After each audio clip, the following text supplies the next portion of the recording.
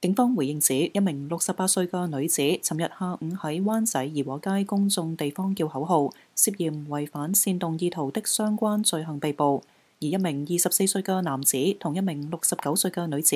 寻晚喺怡和街公众地方形迹可疑，而警员上前截查期間，該名男子怀疑袭击两名嘅警务人员，两人分别涉嫌袭击警务人员及在公众地方行为不检被捕。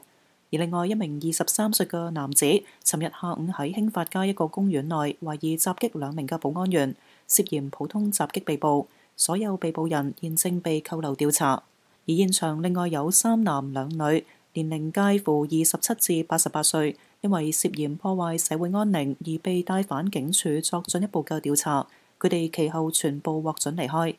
而荷兰。德國駐港總領事及歐盟駐港澳辦事處處理主任晚上約七點半到達維園，三人逗留約十分鐘之後離開。期間面對傳媒提問，只係表示到場行下。而另外，社運人士雷玉蓮尋日晚上喺旺角朗豪坊外以個人方式悼念六四，期間有大批穿着戰術背心嘅警員在場戒備。而另外，警方亦都派出便衣警員登記蓮姐嘅資料。喂喂，睇完咪走住啊！記得 like 啦、subscribe 啦，同埋撳鐘仔先，撐我哋撐真相啊嘛〜